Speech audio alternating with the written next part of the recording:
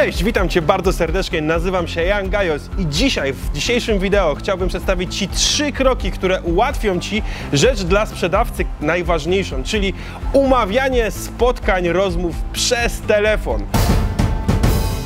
Więcej na ten temat, od razu Ci zapowiem, dowiesz się już wkrótce, bo w najbliższą niedzielę o godzinie 14 na darmowym webinarze, na którym możesz zapisać się klikając w link, który znajduje się poniżej. Natomiast wracając do głównego tematu naszej rozmowy.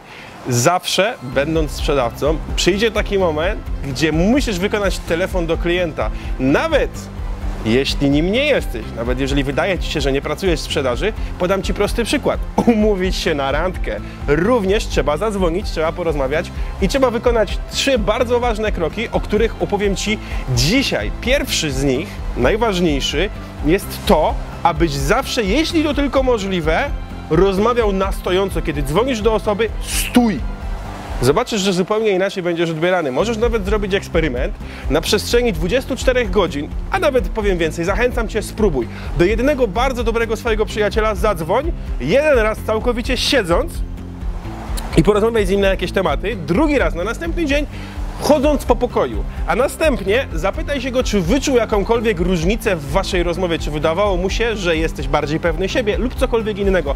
Nie informuj go, dlaczego chcesz to robić, po prostu sprawdź.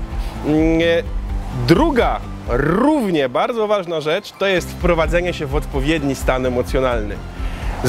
Zobacz jedną rzecz. W momencie, kiedy z kimś jesteś twarzą w twarz, ta osoba może odczytywać Twoje emocje z szerokiego spektrum elementów. Widzi Cię, widzi Twoją mowę ciała, widzi Twoją mimikę twarzy czyli ma pełniejszy obraz Twojej osoby. Natomiast w momencie, gdy ta sama konwersacja odbywa się wyłącznie telefonicznie, tak naprawdę ma do dyspozycji ton, barwę, natężenie Twojego głosu, czyli tych elementów jest o wiele mniej, a więc musisz się bardziej skupić na jakości swojego przekazu, aby dotrzeć do swojego rozmówcy. I tu powiem Ci jedną bardzo ważną rzecz, na którą większość sprzedawców, którzy są nastawieni tylko i wyłącznie na efekt, nie zwraca kompletnie uwagi. Zapamiętaj sobie jedną bardzo ważną rzecz. Lepiej odpuścić rozmowę, odpuścić transakcję, niż przeprowadzić ją w złym stanie emocjonalnym. Jest kilka sposobów, aby to zmienić. Możesz sobie włączyć fajną muzykę i podskakać, żeby być bardziej energicznym. Możesz wykonać tak zwane telefony rozgrzewające, czyli zadzwonić do jakichś swoich przyjaciół, do jakichś swoich znajomych, powiedzieć sobie parę historii, parę żartów, żeby już ten cały tutaj taki twój wewnętrzny flow był na wyższym poziomie, lub też zjeść dobry, lekki posiłek, posłuchać muzyki, generalnie zastosować takiego swego rodzaju motywatory. Natomiast zawsze i wszędzie musisz pamiętać o tym, że dobrze wykonany telefon to telefon, który jest w odpowiednim stanie emocjonalnym. Ja generalnie jestem przeciwnikiem skryptów, czytaniem z kartki, jeśli chodzi o rozmowę, czyli krok po kroku odhaczasz.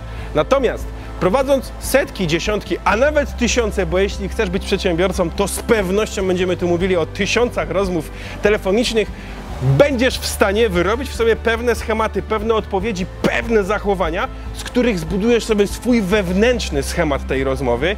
Jak się to robi, jak skutecznie go przeprowadzać, jak skutecznie go tworzyć, o tym opowiem Ci już w niedzielę, już w najbliższą niedzielę o godzinie 14 na darmowej konferencji. Także jeżeli ten temat Cię interesuje, już od razu kliknij w ten link na dole i się zapisz, zanim zabraknie miejsc.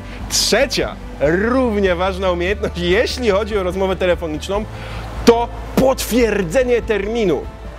O wszystkich poprzednich elementach opowiem Ci w niedzielę. Natomiast sama finał, sam finał, sama końcóweczka, niezależnie od tego, czy chcesz sprzedać produkt, czy chcesz umówić się na randkę, jest potwierdzenie terminu. Ludzie o tym zapominają, a potem się dziwią, że nie mają z kim porozmawiać, bo ludzie nie pojawiają się na spotkaniach, ich rozmówcy.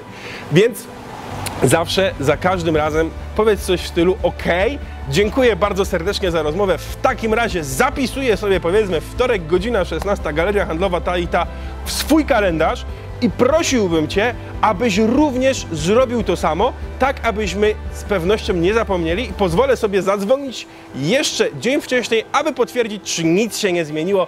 Dziękuję serdecznie za rozmowę. Niby trzy takie bardzo proste kroki, dla niektórych oczywiste, praktycznie niestosowane z mojego doświadczenia przez ludzi, którzy dopiero stawiają pierwsze kroki w sprzedaży, a w znaczący sposób zmieniające całkowicie skuteczność Twojej rozmowy. Nie wierz mi na słowo, spróbuj, sprawdź, A jeżeli Ci to okaże to prawdą, zobacz trzecie wideo i pojaw się w niedzielę na kolejnym super wykładzie realizowanym w ramach Akademii Biznesu. Przypominam, godzina 14. Tymczasem zostawiam Cię już z materiałem, abyś mógł go jak najszybciej przetestować i wprowadzić w swoje życie. I jak zawsze, miej dzisiaj wspaniały dzień.